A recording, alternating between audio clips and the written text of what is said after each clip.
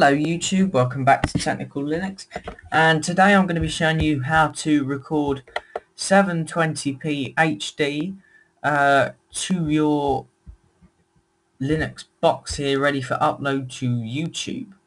So what you do is you come over to www.techsmith.com scroll down a bit until you see Snagit and you want to click on Snagit, left click on Snagit don't right click on Snagit, otherwise you just get a menu like that.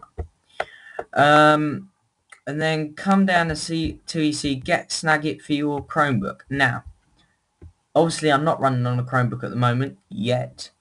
Um, so all you've got to do is you've got to install Google Chrome. So how you go about doing that is if you're on a Linux box, you just go download for personal computers and it will choose the Debian Ubuntu installer and just click download and then follow the instructions. Then once you've done that, go back to this website, go to get Snagit for your Chromebook.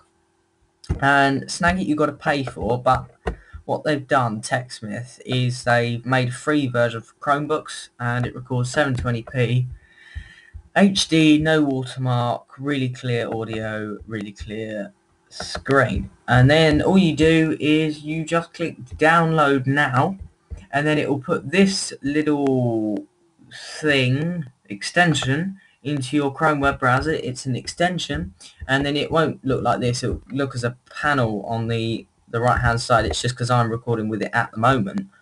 Um, and obviously when you're recording you've got your stop and cancel. You can't pause it like you can with some recorders but hey it's free.